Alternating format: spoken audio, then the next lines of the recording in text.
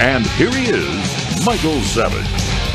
Snow shows no Nation's signs crippled from a snowstorm. Welcome to the show. Brought some cars. Nation's uh, crippled from a snowstorm that hasn't hit yet, but the uh, grocery shelves have been cleaned out. The tire chains are on. The fireplaces are lit. And here we are. We're sitting and waiting for a snowstorm on the East Coast that, uh, well, it'll come. I mean, which proves, of course, that global warming is worse than we ever thought. You see, no matter how you look at it, it's global warming. And even though it's a blizzard in January, which has been a common occurrence for hundreds of years, it's a different kind of blizzard. It's a liberal blizzard. It's a progressive blizzard.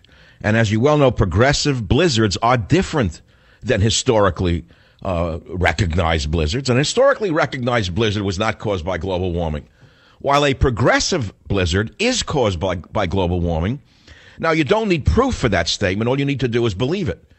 Because in order to be a liberal, you don't need any kind of logic nor proof, just belief.